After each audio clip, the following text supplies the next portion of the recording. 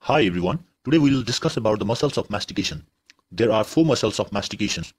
These are the major muscles of mastication, which are temporalis, masseter, and lateral pterygoid and the medial pterygoid. We shall now discuss about the origin, insertion, nerve supply, and action of the individual muscles. Firstly, temporalis. Temporalis muscle.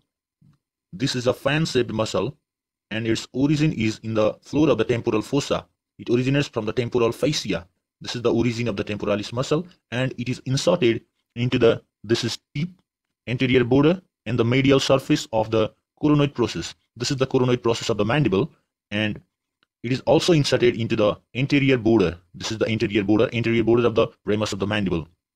And now there's a trick to remember the action of muscles of mastication. You just have to think how will be the moment when the muscle contracts or shortens. That's it. Now let's see here. By the anterior and middle fibers, these are the anterior fibers, these are the middle fibers, and these are the posterior fibers of the temporalis muscle. And when these anterior and middle fibers contract or they shorten, the mandible will be elevated. And when these posterior fibers shorten, there will be the retraction of mandible. How easy is that? Now let's move on to the masseter muscle. The masseter muscle is originated from the zygomatic arch adjoining part of the zygomatic process of maxilla. This is the maxilla and this is the zygomatic process. It is originated here and its insertion is on the lateral surface of the ramus of mandible and also on the coronoid process. And its action is, is it is already, you all know the trick. When it shortens, what will happen? The mandible will elevate to occlude the teeth for the forceful bite. It is a very powerful muscle, so elevation of the mandible will take place. Now let's move on to the lateral pterygoid. This is the lateral pterygoid and in the same picture we have also got the medial pterygoid and the lateral pterygoid has two heads, upper head and the lower head. Now origin of the upper head is from the infratemporal surface of the greater wing of sphenoid. This is the greater wing of sphenoid and from the infratemporal surface of the sphenoid, this upper head of lateral pterygoid is originated and it is inserted into the pterygoid fovea on the anterior surface of neck of the mandible and also on the articular disc and capsule of TMJ.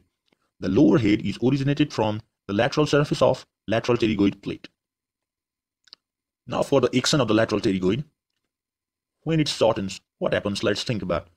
The neck of the mandible is pulled forward and hence the mandible depresses downward. When this neck is pulled forward, mandible is depressed downward. And also when this contracts, there will be forward movement or protraction of the mandible. So depression and protraction will be brought about by the action of lateral pterygoid. Now moving on to medial pterygoid. Its origin is from the tuberosity of the maxilla. This is tuberosity of the maxilla and the superficial head originates from the maxillary tuberosity and deep head originates from the medial surface of the lateral pterygoid plate.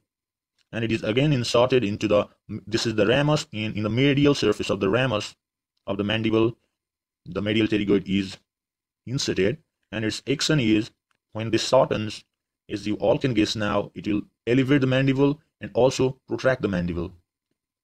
That's it. Isn't it very simple? Please share and subscribe if you love this video. And you can also send us your constructive feedbacks and suggestions in the email address provided there. Thank you. Have a nice day.